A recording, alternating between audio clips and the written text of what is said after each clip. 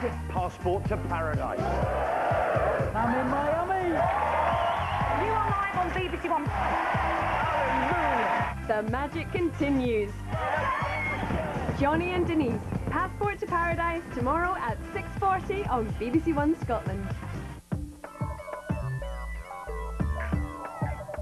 Swapping clutter for cash. This is BBC One Scotland. Welcome to Cash in the Attic. This is the show that helps you find the hidden treasure in your home, then sells it for you at auction. Today I'm at Ashington in Northumberland, where for nearly a century life revolved around this place, the Woodhorn Colliery. Now it opened in 1894 and employed more than 2,000 men, producing 3,500 tonnes of coal a year. Well, we're hoping to find some rich themes of our own as we go digging for antiques.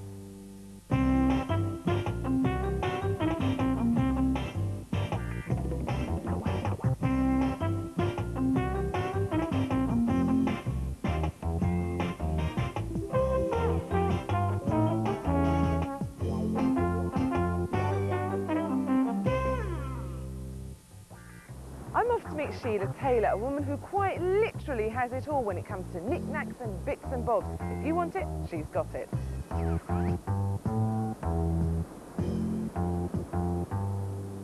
Hi Sheila. Hello. John, is Hello. it?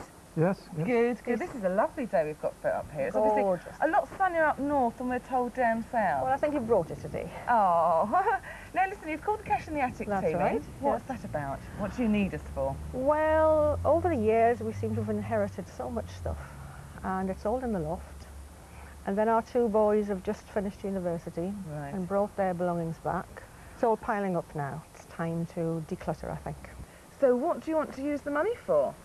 Well, about 20 years ago, my mum wrote uh, a poetry book, my Northumbrian poems. And over the years, we've sold about a thousand copies. Yes. And um, they're all about places in Northumberland. Love the Walk- walk- illustrations. Yes, yes, she did all the illustrations as well. So she did those as well as the... Yes, Whoa, what a yes, lady. yes. Very simple book, but it's gone all over the world. We'd like to have about a thousand copies published. And we think that would be about £700. Yes, about £700 for a thousand copies. We can also get a hardback edition and we can get probably 50 copies for about £600.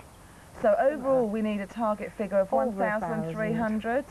Something like that. Yes, something Okay. yes. Yes. Well, no time to enjoy the sunshine then. you'd better show me round. Okay. Shall we go? Here we go. This way, is it? Yes. Downstairs, much of Sheila's clutter is safely locked behind glass, but in the guest bedroom, the problem's not so easy to avoid. So it's all going, is it, John? Yes, all these antiques, well, we hope they're antiques.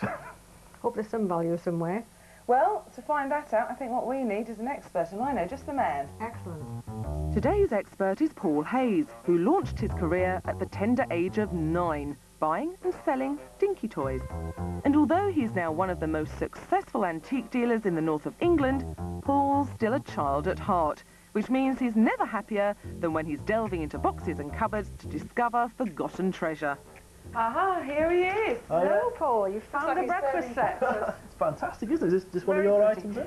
yes, yes. It's one of John's aunts, I think, isn't it? yes, I think Aunt got it during uh, the 1930s. She was in service in a house in the south of England and it was a present. Well, I think the idea is we've got two egg cups, we've got a salt and pepper, little toast rack, all on this tray. I mean, all that's missing is the servant to sort of bring it in for you, Exactly, isn't yeah. it? a civilised breakfast, eh? Fantastic. But this is by a firm called Grimwades, who mm-hmm. traded under the name called Royal Winton. That's a good name to actually find. And they produce what they call a range of chintz pattern, which is basically very close-knit flowers. Yes. And that was developed in the late 1920s. It actually comes from the Hindu word chintz, which means variegated, which actually means lots of different sort of designs all in one. Uh, this is called the hazel pattern, Yes. and we know that because it's got this very dark black background with the pink flowers and so on on top. And it's wonderful to find them complete. Now and again the salts and peppers get used or the toast rack gets missing, and to find it with its original tray is really nice. so what sort of value are we talking potentially at auction then? Uh, well, these are extremely good in America. Obviously, you know, America seems to be the place to go. But in an auction over here, fantastic design. Uh, 1930s, that would bring 100, maybe 150 pounds. Really?